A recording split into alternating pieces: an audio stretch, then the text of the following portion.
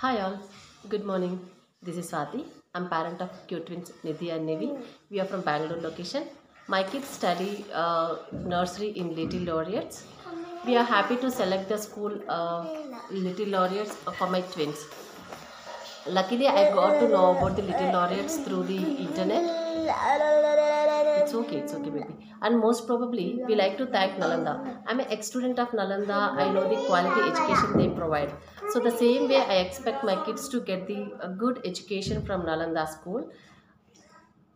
Little Laureates has um, set the curriculum in such a way that it covers everything, each corner which requires my kids to grow more, learn more, and they enjoy a lot. And most mostly, I would like to thank Deepa ma'am. She's very uh, interactive with every student. She like to spend her time with every student by giving special priority to each and every kid. My li- my kids also like Deepa ma'am very much.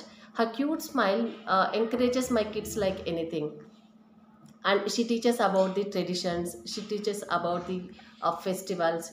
She she not only teach in a teaching way she also set up the uh, crafts and arts so that kids will get attracted uh, to the craft and art more than the teaching.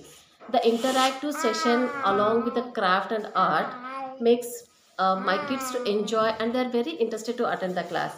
And ma'am's um, she, she just behave like a kid with the kids. Hi. and the teaching is very good. my kids like uh, her teaching very much. And i could see much improvement uh, in my kids behavior. And now they started speaking english. They started uh, repeating the things which ma'am teaches in the class. Uh, uh, what, what else what else i have to cover?